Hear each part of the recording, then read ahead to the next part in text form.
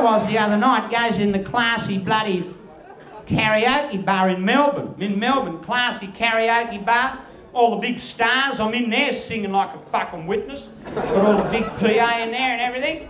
Who should walk in? Elton John. I said, Elton John, you bloody old poo bugger. What are you doing? Looking for a chocolate donut for your coffee, are you, Elton? I said, I bet you wouldn't take the weight in your elbows, you bloody old peanut butter trail rider. I bet you got a teething ring sewed to your fucking pillow, haven't you, Elton?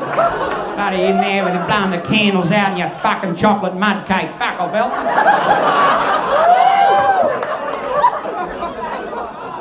Who should walk in? George Michael. I said, George Michael?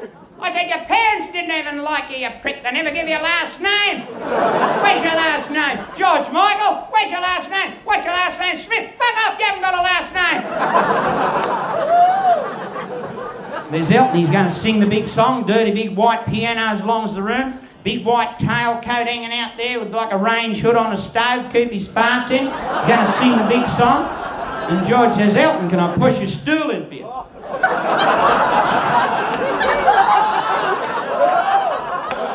You reckon that's enough puff to jokes? It's enough puff to jokes. Lady, a lady come up to me the other day in bloody wherever the fuck it was. She said, she said, Red, she said, you're telling all those to jokes there? She said, what are you, homophobic?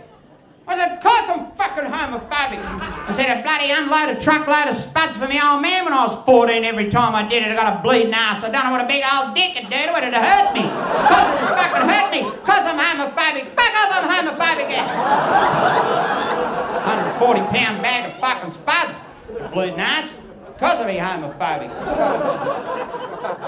I got one more puff to Jack. Elton said, George, you've been fooling around on me, haven't you? George says, how do you know? Elton said, you come home the other night, oh shit face.